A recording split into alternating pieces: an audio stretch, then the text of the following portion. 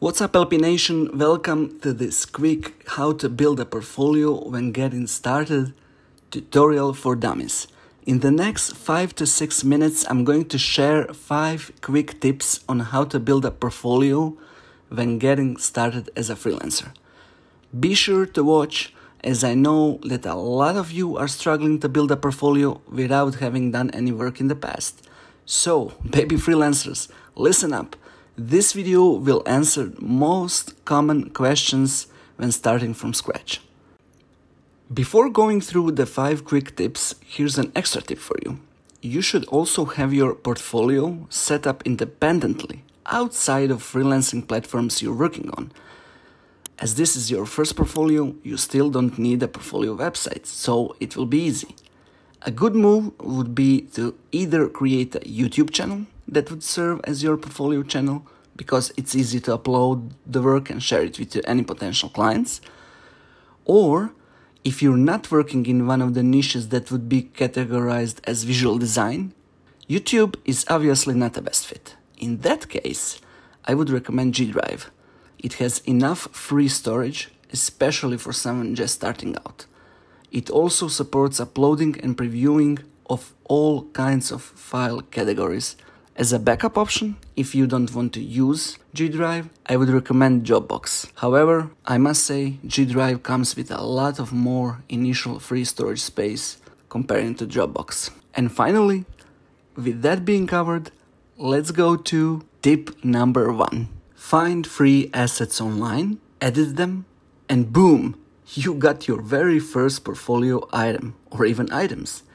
So, there are a lot of sites out there, but Freepik and Pexels would be a great start.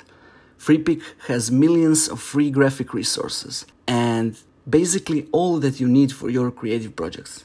And Pexels, on the other hand, is one of the best free stock photo and video sites out there. You can use the photos and videos everywhere, and as a bonus, it's even free for commercial use, and no attribution is required. But that's a good piece of info to have in mind for the future projects. For now, only head to Photoshop, After Effects, or any other appropriate or preferred editing software, play around with the assets you downloaded, modify them, and lastly, showcase them as the first items in your new portfolio. Bonus tip if you're a total beginner, not having any tools or not knowing how to use any tools, just Google Canva.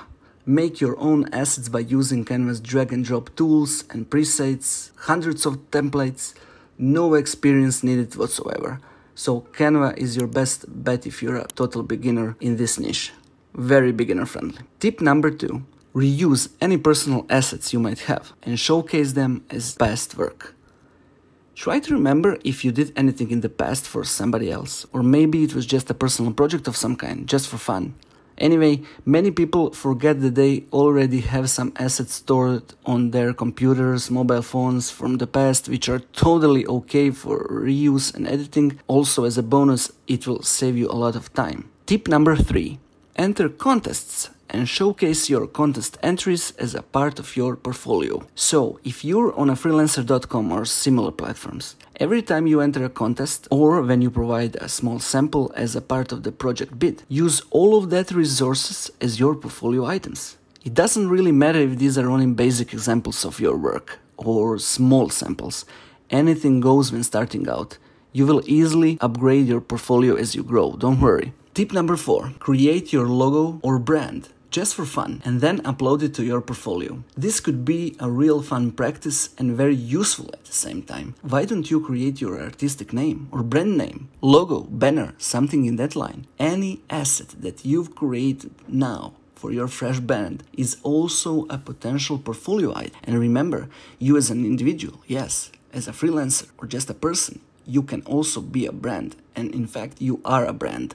So here goes an extra ninja tip for you. Brands are not only reserved for companies. In fact personal brands are on the rise and a smart thing to consider building. Whatever it is that you do for a living or plan to do in the near future maybe your field of expertise your education all of that is less important because you should really start building your personal online brand either way build up that online presence because our future is really the future of online space being totally dominated and crushed by strong personal brands.